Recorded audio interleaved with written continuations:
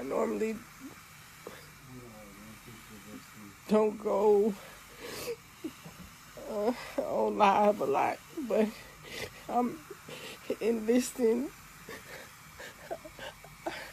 I'm asking for anybody out there to pray for Tyson. I went home.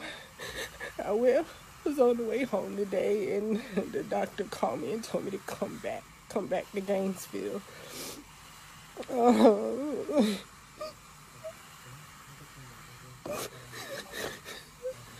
Tyson wasn't doing well at all. But I'm asking y'all right now, anybody out there, pray for him? pray for him. The doctor gave us a couple options to take him home and just let him let him enjoy the couple days that he has. or, you know, just sit here and at the hospital with him. He's not a candidate for the heart surgery that he needs because of his immune deficiency. And, and uh, having the heart surgery would cause him to suffer more. So, yeah, I want y'all to meet Tyson King Lanier. And I want y'all to pray for him.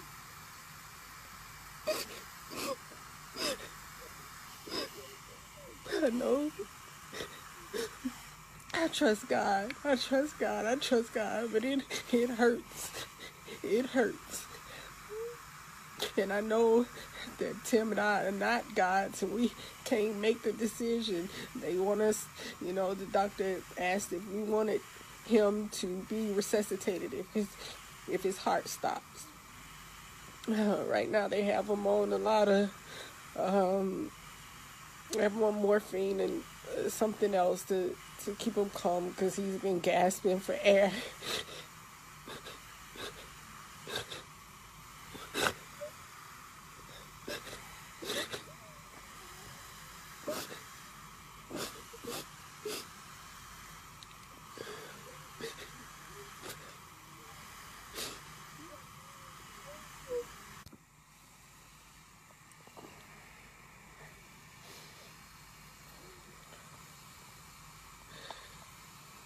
Just asking, asking you all to pray for him. Pray for him. Pray that he doesn't suffer the cardiac surgeon and the team of doctors don't want to perform the surgery on him because he has an immune deficiency. He has a severe uh, heart defect called tetralogy of Fallot pulmonary atresia with MAPCAs and he has an immune deficiency. So they say that they open him up, it cause infection. So they just want him to just have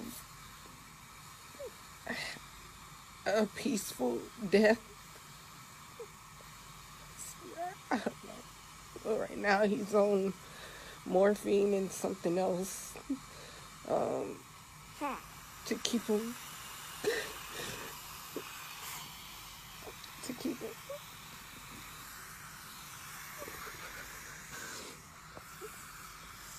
I'm gonna take this off his hand.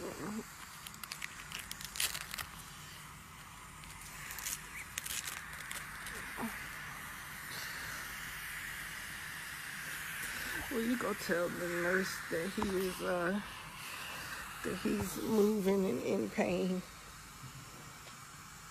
I'm Tyson. On this baby.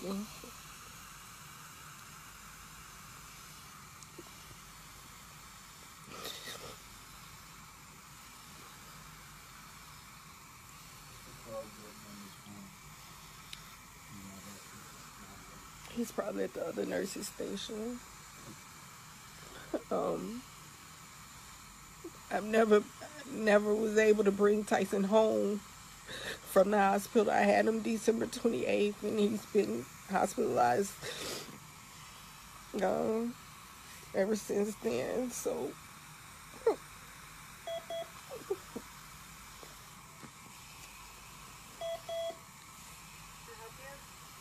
Yes, can we get the nurse in here real quick? Um.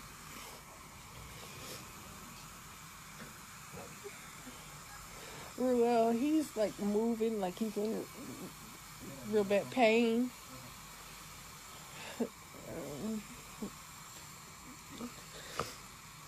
Um,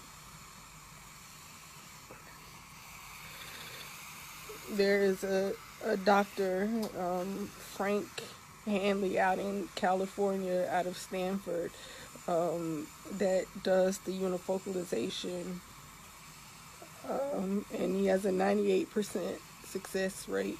But uh, one of Tyson's doctor uh, doctors is supposed to be speaking to him about Tyson's case. But another one of the doctors that's here tonight, like she doesn't believe that they'll take his case because of how severe he is. Um,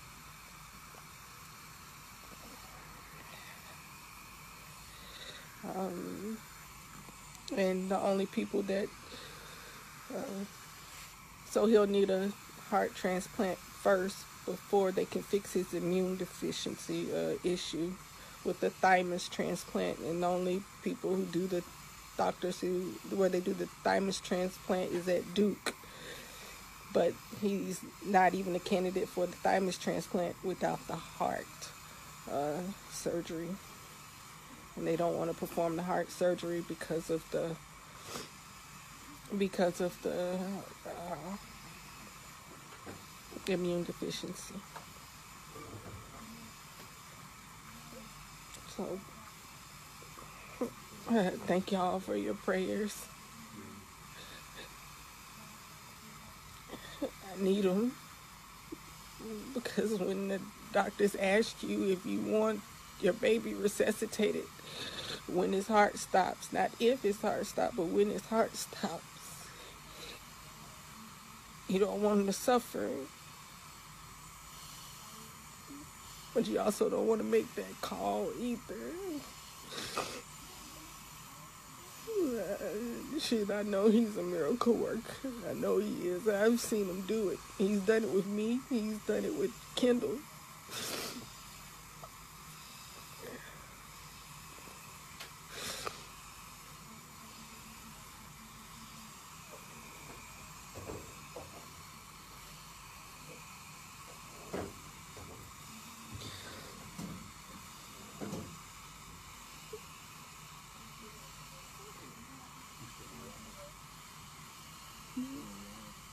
It.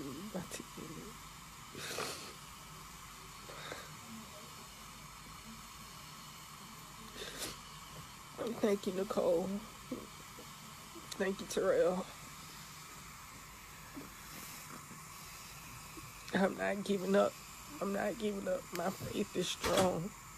My faith is strong.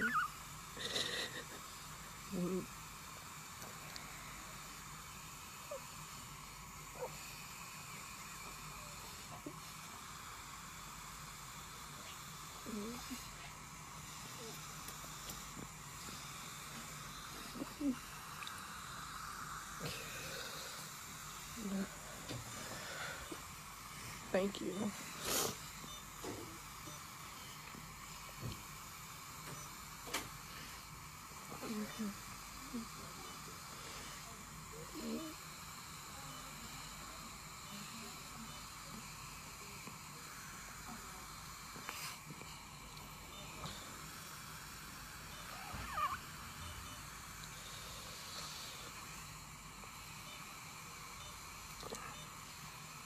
Yes, he is, Kim.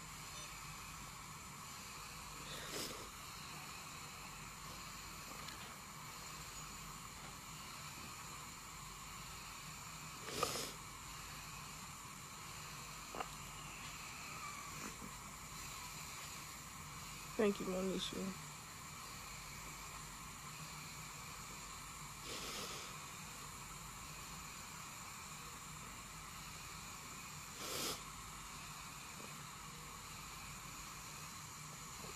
Thank you, Marie and Coach Willie.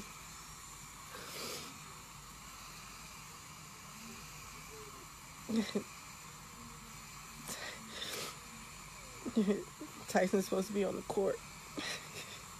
like his big brothers.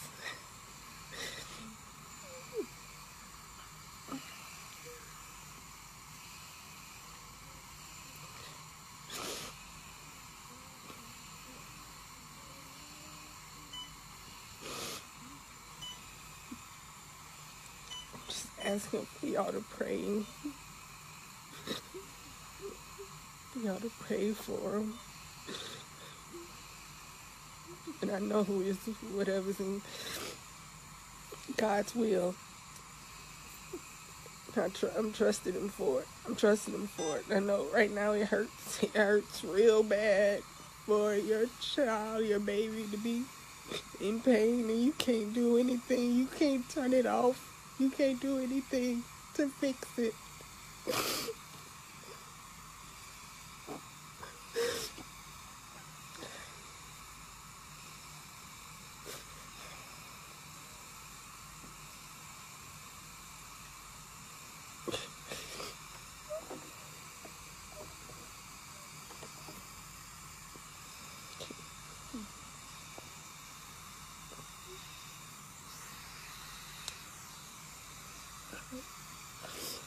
Mama's right here with you.